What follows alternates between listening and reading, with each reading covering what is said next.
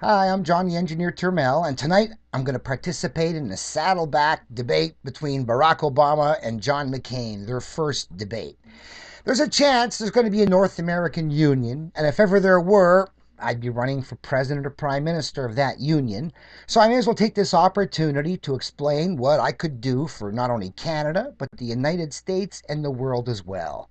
So I'm going to be throwing in my answers and one liners to these uh, arguments made by the other candidates, and I hope you appreciate the errors they're making and the ways they could be fixed. What's the most significant? Let me ask it this way What's the most gut wrenching decision you've ever had to make and how did you process that to come to that decision? Well, you know, I, I, I think the, the opposition to the war in Iraq was uh, as tough a decision as I've had to make. Mm-hmm. Um, not only because there were political consequences, but also because uh, Saddam Hussein was a real bad person. Mm-hmm. Uh, and there was no doubt that he meant America ill. Well, Saddam may have wished America ill, but he didn't have the resources. He'd been blown up by George Bush Sr., economic embargoes caused half a million dead Iraqi babies. Necessary, said Madeleine Albright, you know. And uh, he was flat on his back, the whole country, which explains to me why America attacked. They like attacking people who are flat on their back with no way to defend themselves. Uh, but I was firmly convinced at the time that uh, we did not have strong evidence of weapons of mass destruction. Worse, the U.S. government produced the false evidence to frame Iraq. Colin Powell gave up his dignity and his reputation at the United Nations, peddling a pack of lies in the cause of war.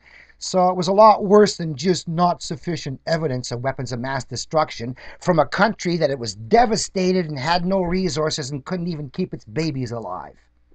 And there were a lot of questions uh, that, as I spoke to experts, mm-hmm. um, kept on coming up. Do, do we know how the Shia and the Sunni and the Kurds are going to get along mm-hmm. in a post-Saddam situation? Mm-hmm. Uh, you know, what's our uh, what's our assessment as to how this will affect the, the battle against terrorists like Al Qaeda? Mm-hmm. Um, have we finished the job in Afghanistan?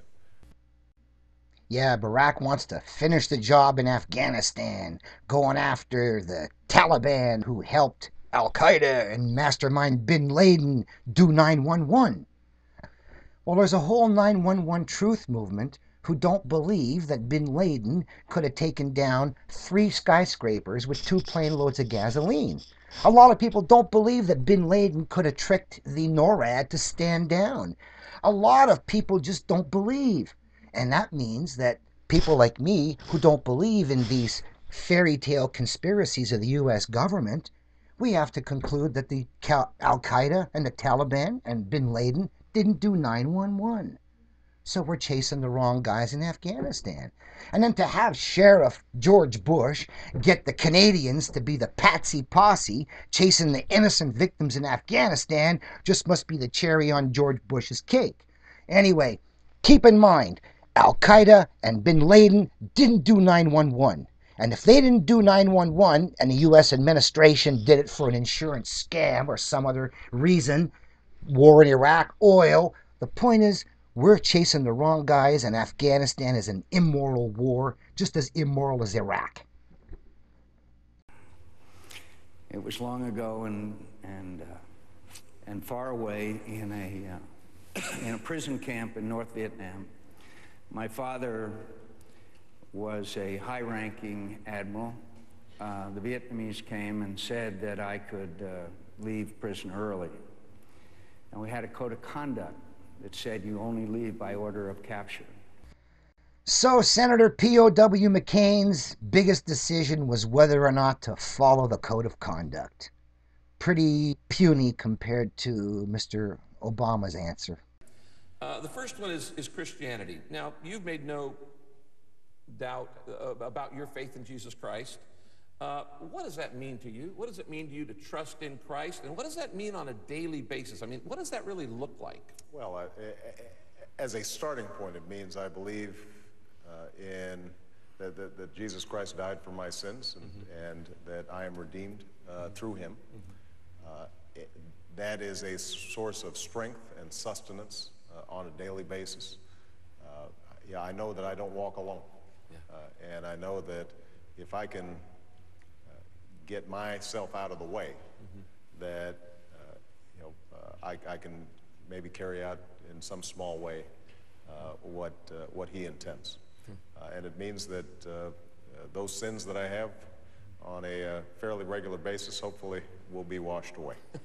Um, you know, but, but what it also means, I think, is uh, a- a sense of obligation to uh, embrace not just words, but through deeds.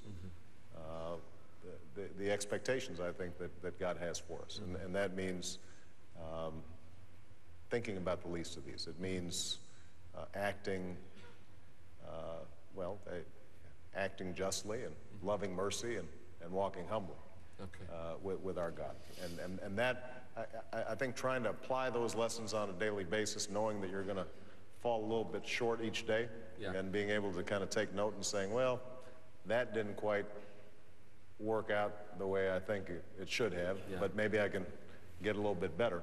Um, that- it, it gives me the confidence to try things, and including things like running for president, that, uh, where uh, you're going to screw up once in a while. Yeah. Jesus didn't save us from our sins so we would have heaven in the future. Jesus was here to save us from our debts so we could have heaven on earth. His Our Father was Give us today our daily bread, forgive us our debts as we forgive our debtors. That's the true interpretation of the Our Father. Jesus was a debt fighter.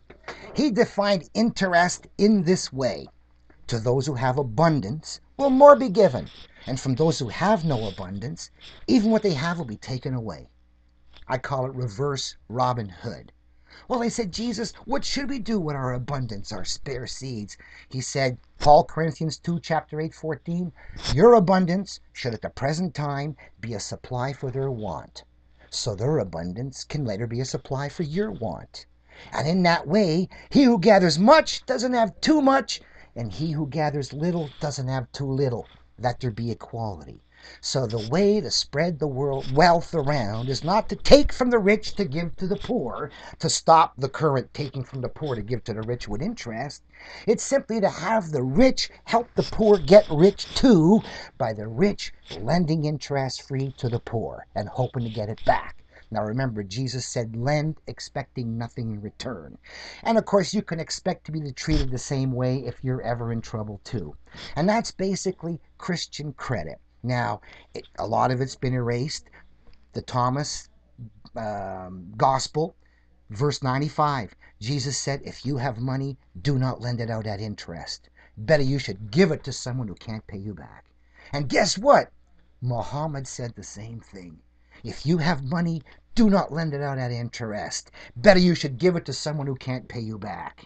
And as a matter of fact, Nehemiah for the Jews and Isaiah and all the good ones, Nehemiah said, let the exacting of interest stop.